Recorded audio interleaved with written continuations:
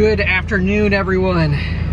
So, do any of you like wake up in the morning, put all your tools in the truck, and you know, you start it and you get that low roar from your vehicle and you're like, money.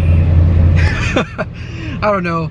I know it's probably not economical or whatever to have a gas guzzler, but I like it. You know, there's something about having a nice truck, driving to your jobs. It's like my office, you know, some of y'all spend a lot of money on your office. This is my office. But anyways, my property is a little bit older, 1970s. And again, it's at like a 20, 1800 I think square foot. Uh, I'll look at the order and I'll tell you whenever I get there. And I'm gonna start the Chris Talk. It's gonna be the TED Talk of the beginning of the videos. And if you don't want this, just hit that double tap on this edge and jump forward to the property. You can learn about the property. But my Chris Talk today is about commenting etiquette for home inspectors. You know, home inspectors are very opinionated, which that's our job. That's what we're supposed to do. That's okay. But the way they write their comments is like degrading. They're like, you're an idiot. You don't know what you're talking about. Well, we're both right in a way, right? So if you think it's going to be degrading or you're going to harm that inspector's reputation on his own social media content, reach out to him as a private message, you know, message them privately and tell him that he might be wrong so he can learn, you know.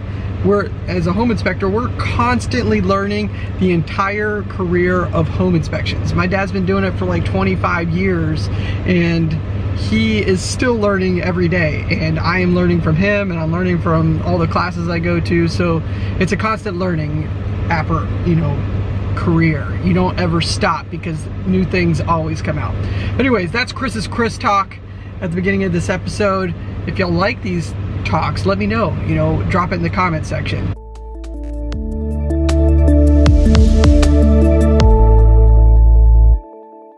Okay, just pulled up to the property. It's 1960s, 1700 square feet. And uh, these typical homes are good for first-time home buyers only if they've been well maintained. You know, you come across some that are not very well maintained, but even if they have a little bit of money to invest in them, still a good first-time home buyer because after they come in and fix everything, it, not very many problems on the big scale can go wrong with these I'm gonna eat my words a little bit there probably because, you know, if it has cast iron plumbing or whatnot. But that's what I'm saying, it has to be up to date and maintained. Let's go and check out this property and let me let, I'm gonna let you know some of the stuff I find. Walking up to the property, you formulate a, a, a pretty good feeling almost walking up when you see a brand new roof and some new paint. Uh, but sometimes it's not the full story, it just gives you a good feeling, right? Walking into the property, it was pretty warm right away. Walked in and AC is set on cool and it's 86 degrees. Oh, it's gonna be a hot one. It's gonna be a hot one. This panel box is a little bit rougher than normal, but the main area I want to talk about is you have smaller wires on this 200 amp breaker.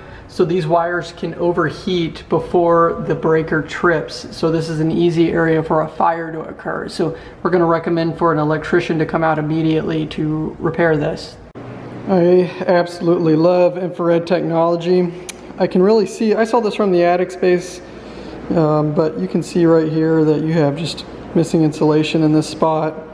Gives you a painted clear picture and then also it's something the client can easily understand of where the heat loss is coming from.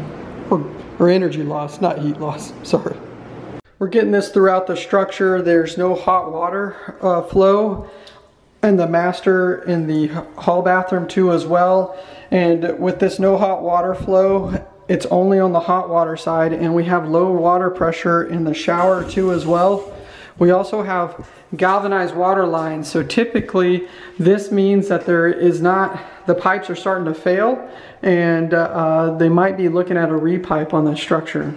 Good looking water heater. So now we know for a fact that the, the hot water supply is not not for a fact, but the hot water supply, it's not compromised because of the water heater, because we also had good water pressure at the kitchen sink too as well. So, you know, we had good hot and cold water pressure and it was hot and cold so we know that there's some damage between the kitchen, the water heater, and the bathrooms.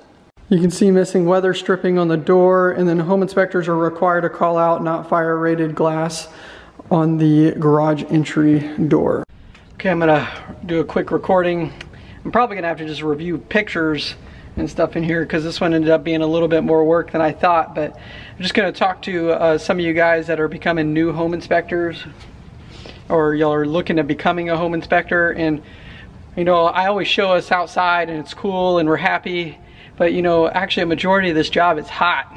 It's like it's like really hot you know and I'm in an attic that's not ventilated pretty well and you got to walk all the way back there and uh, look for any deficiencies and problems. You know the HVAC out a little bit more issues than normal so it takes a little bit more time to report on that and then you have galvanized water lines you take more time to really follow the galvanized water lines. And then there's a bunch of splices and stuff up here so then you have to think it's a little bit dangerous too as well. So if you are looking at getting in this line of work, you have to realize that you are going in places where there's rodents, you know, it's hot, you bend, you crawl, you go through windows. So, you know, you wanna take all that into consideration too.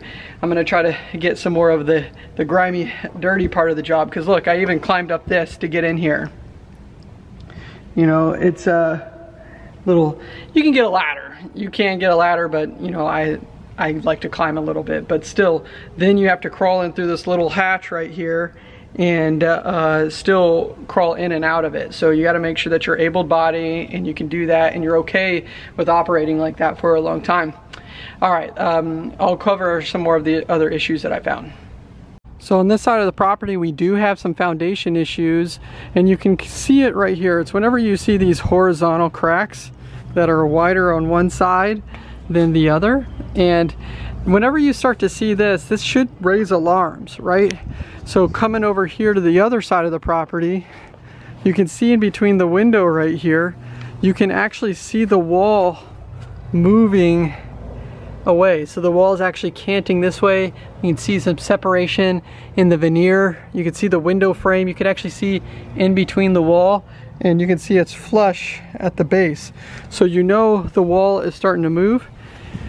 You also have two uh, vertical cracks here that are going through the brick. And the, the question you want to ask yourself, why is the wall canting this way? What What is causing that? And the reason why I like to think about it, this is big picture stuff, this is really cool, is you can see the roof line right here, right? You have all of this water, it rolls down the roof, falls off right here lands in this area with poor drainage.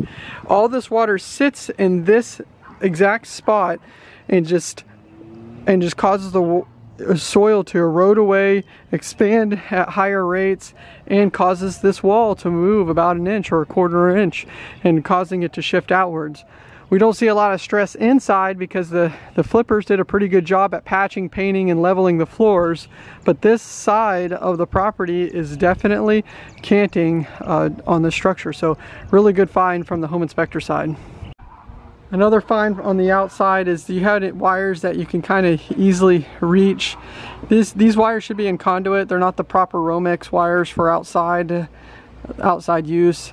We also have a, uh, door frame that's completely rotted through, so you want to make sure all of this stuff ends up in your report or uh, whenever you're a client looking for a property, you want to be looking out for this stuff. Next area, they added in this back porch or this back patio area, and it's actually installed over the brick a little bit. This hasn't caused any issues on the inside for moisture issues, I'm guessing because of the large overhang, but this is an easy area for termites, so you want to make sure that you pay special attention underneath this window uh, because they can be, be in this wall and you not even uh, be able to identify them until damage starts to expose. So I like to knock on the wall and hear if I can see any droplets or pellets you know, run my hand across the frame just to see if I can feel any uh, damage behind the wall. Just on my wide pass a little bit, you can see that the it's a little soggy on this side of the structure. Got some dogs, sorry. but you know, I like to document it. Even though it's far enough away from the structure, I still like to let my clients know that you have some drainage issues on this side of the structure and it is something that uh, you, you want to inform your clients about uh, whenever they're purchasing this property. There you go, I'm gonna wrap it up there. Um, th so those are some really good finds uh, for the home inspector side. So I did eat my words a little bit. This one has a little bit of everything. Probably not the best for a home a first-time home buyer with not a lot of cash on hand or they're spending it all on the down payment. So maybe you you want to come in thinking you're like all right well if I do buy this property I'm gonna have some repairs. You know the HVAC's not working. They need a galvanized water they have galvanized water lines in place. They need an electrician and you know they don't have water flow to this property. So if they do want to purchase it you, they want to keep in mind that they are going to spend some money moving into this property. Overall it's I know that sounds crazy. It's still not that bad. You, if they are able to come in and fix this stuff, this will be a solid house for a very long time. I, I like the older structures. But uh, yeah, that's Chris with the Action. If you like these types of videos, please hit that like and subscribe button and uh, catch us on the next one. And please leave comments of the type of content that you like and I'll try to get it out there. Thanks guys. Bye.